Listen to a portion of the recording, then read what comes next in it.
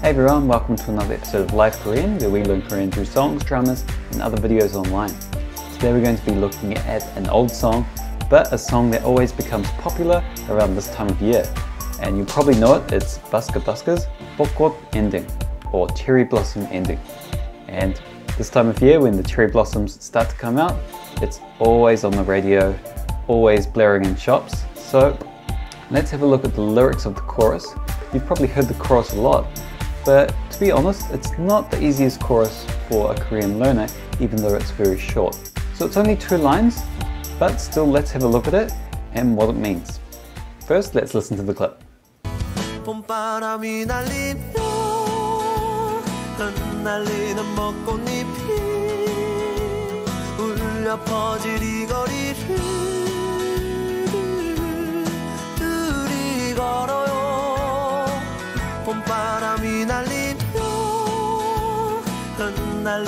벚꽃잎이 울려 퍼질 이 거리를 둘이 걸어요 oh, Okay, if you've ever lived in Korea, you've probably heard that chorus many times. Now, it's actually two lines, but I've split them up into four lines. So the first line, 봄바람 휘날리며. 봄 is spring, and param is wind. And in this case, you can actually put warm and param together to mean spring wind. Then we have the verb huinalita. Huinalita means to blow. So you can say that something blows in the wind, but here we're saying that the wind is just blowing. The spring wind is blowing. And then on the end of this, we have a grammar point, which is mia. So 며 can be attached onto the end of verbs to mean while.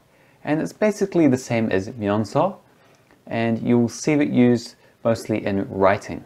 Now, 며 also has another meaning, and that's and. And you can usually tell from context whether it's and or whether it means while. Alright, the second line we have 흩날리는 벚꽃잎이. Now, 흩날리다 means flutter. The next word is 벚꽃, which is Cherry Blossom and what the song is all about. And then we have i, which means petal. I here is just the subject marker. Gonnib together originally means petal. And basically, two of these have been put together to mean cherry blossom petal. Now at the end of this, we'll put it all together into one sentence. But for now, cherry blossom petals that flutter.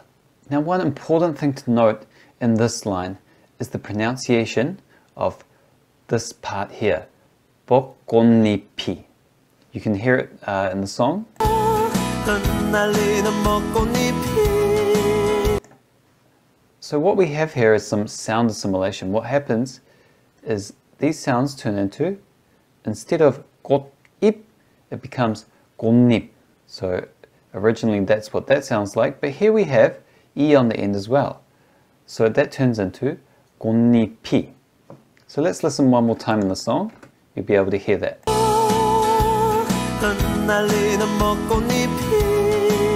Bokonipi. So for a beginner, it can be quite confusing with these uh, sound assimilations, but as you practice and see them more often, you get used to it. All right, and the final part.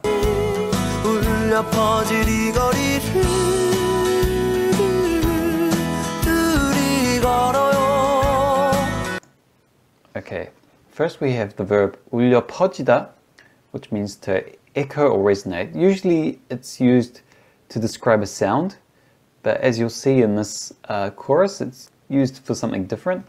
And next we have E for this, 거리 means street or road.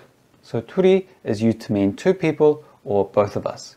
The next word is 걷다 for walk, and you'll notice that it's conjugated into 걸어요. So it's an irregular verb, and there are a few of these in Korean. And if you look up on Wikipedia or a Korean learning site, you should be able to find a list of irregular verbs. There aren't too many, uh, but there definitely are some common ones. So it's good to know them. Now describing this, the, now describing these two lines without describing the first lines again wouldn't make much sense. So now we're going to put it all together into one. So while the spring wind blows, we walk along this road that's covered in cherry blossom petals fluttering in the wind. One more time. While the spring wind blows, we walk along this road, which is covered in cherry blossom petals fluttering in the wind. Now, of course, when you look at translations of this chorus, it will translate it slightly different to that to make it sound better in English. But the reality is that this is all just one sentence in Korean split up into multiple lines. Now let's go back to Ulyopodida. Remember I said it means echo or resonate, but we have some imagery here of cherry blossom petals being spread out all over the, the street.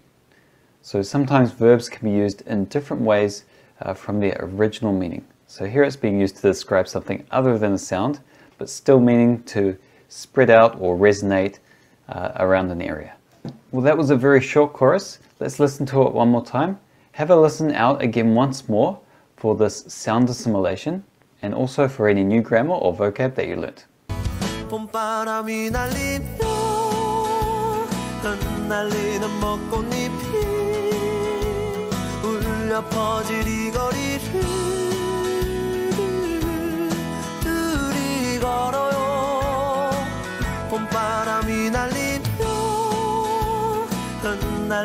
벚꽃잎 울려 퍼질 이 거리를 둘이 걸어요 oh yeah. Alright, that was a very quick video, but that's it for me today. I hope you learned something. If you have any questions or requests, please leave a comment below and we'll be back soon with another video. See you next time.